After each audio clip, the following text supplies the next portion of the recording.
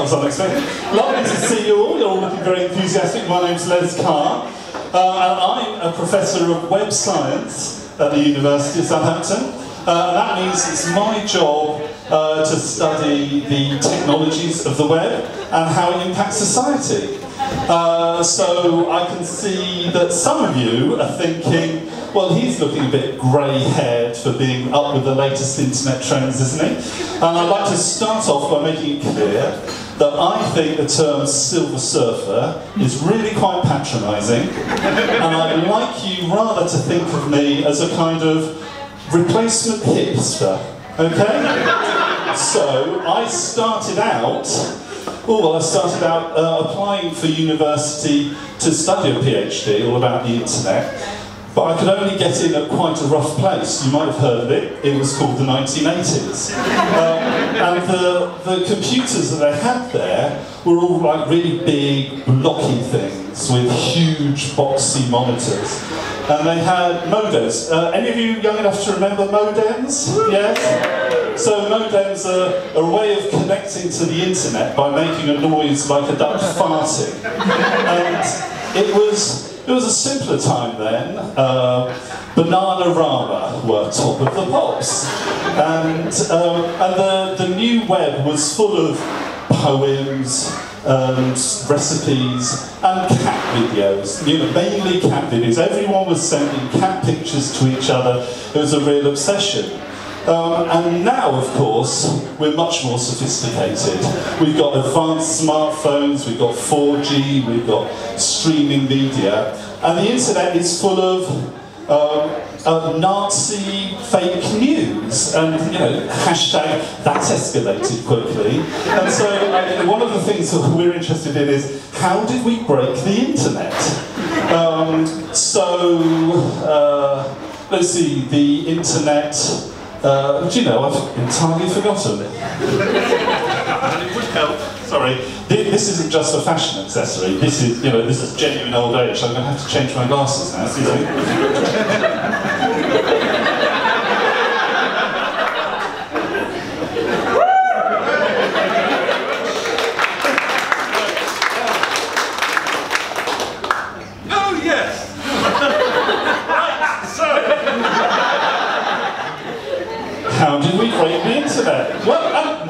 What is this internet that we broke? Um, and so the, perhaps a good idea is to think about what are the three most important sites that we've got in the UK at the moment. Uh, so the first one, of course, do you mind put that in there? There we go. The first one, of course, is Google. Now, Google is phenomenal. Uh, what Google does is it scrapes all the data from billions of websites all across the world just to make it easy for you and me to look up anything that's ever been written, right? Now, it's, it's like someone went into the British Library with a chainsaw and decided to rearrange every single page into alphabetical order just to make it easier for us. Oh, hello, what are you interested in? Aardvarks. Oh, that's really useful because just here, up on the top left-hand corner of the first shelf, that's where you'll find it. Brilliant, everything's fantastically easy now. Second stage, let's replace all the book covers with adverts. Mm. Third stage, let's sack all the librarians. Now, you'll see this repeated in lots and lots of internet and web companies. And there's a term for it in Silicon Valley, it's called pivoting.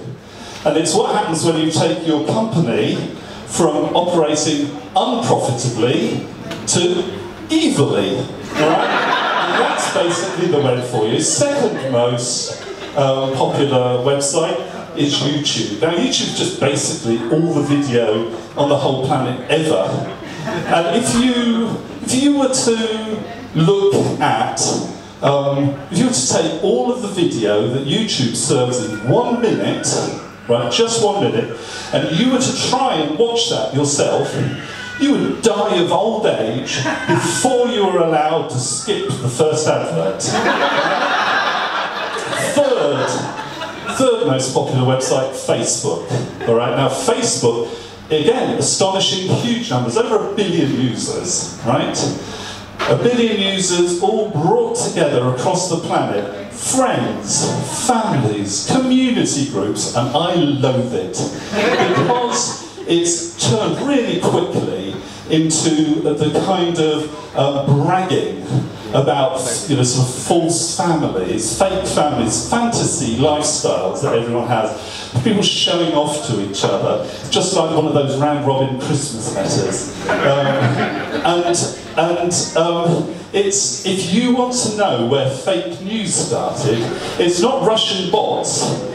It's not alt-right activists, it's middle-class mummies and daddies bragging about how, how lovely it is that Georgie has been learning his alphabet, how much progress he's made since they've signed him up for the Montessori MOOC. Alright? This, we are the cause of all of this uh, misery that we visited on the world, you know. Hello, middle classes. Anyway, uh, so those are the th those are the most popular ones. But how do you make a web?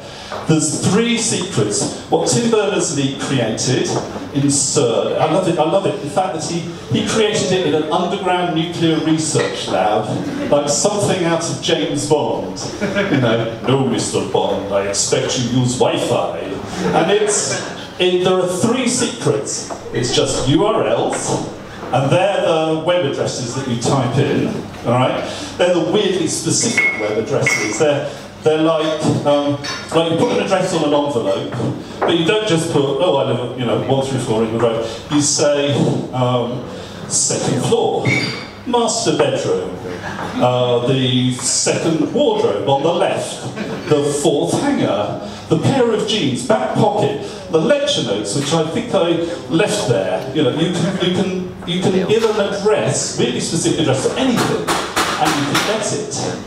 Um, but you don't just have to address those, you can just address the whole bedroom. Alright? And that's what you type into your browser. Then HTTP is like a man with a van who goes and gets all that stuff for you. And if it was just the notes in the back of your pocket, goes and gets them, brings them to you. If it's the whole bedroom, packs it into some crates, disassembles the furniture, puts it in the van, brings it, reassembles the furniture, leaves the crates in your, you know, wherever you are. And the HTML, that's the instructions that you give to the decorators on how to recreate the bedroom in wherever you are. All right, okay, so put the, put the rug there and the, the portrait over the fireplace. Now, that's how you build a web. And the secret of web science is that that was just what the technologists did. That was what the computer scientists did. That was what Tim Berners-Lee did. And then you give it to society and say, well, what do you make of this? Uh, computer scientists made home pages. Society went, hmm, I think we prefer to have social networks. Computer scientists made streaming media and Netflix. And society went, hmm, Netflix and chill very much.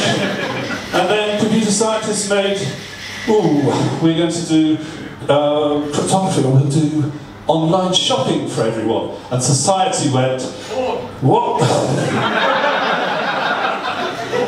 society went porn and cybercrime and all those other lovely things. So that's what my job is, uh, to find out, you know, of how can we make the web better for everyone. Thank you very much.